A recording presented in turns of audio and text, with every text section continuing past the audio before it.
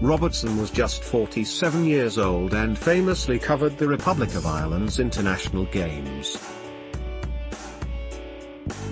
His former Sky colleague David Tanner confirmed the sad news saying, I'm heartbroken that Fraser Robertson, my oldest pal in journalism, has D.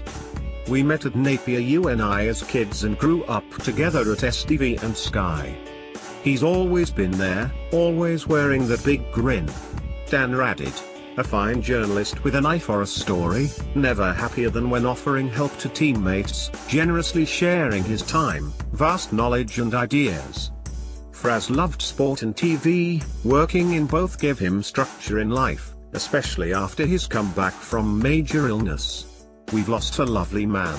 I can't believe he's gone and I'm so terribly sad for his family. Meanwhile, former Ireland striker Clinton Morrison took to Twitter to lead tributes writing, R.I.P. Fraser Robertson such sad news. I will remember all the good chats and the laughs we had with Ireland for Sky Sports you was a good man you will be sorely missed. Newcastle.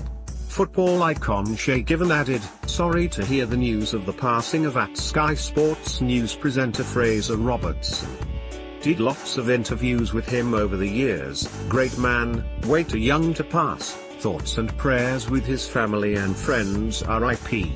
Ireland manager Mick McCarthy also opened up about the tragic news saying, it's very sad. I really feel for his family. He was a great lad, I used to laugh with him because he used to always end his reports with that Sky Sports News line. I always repeated it to him any time I saw him.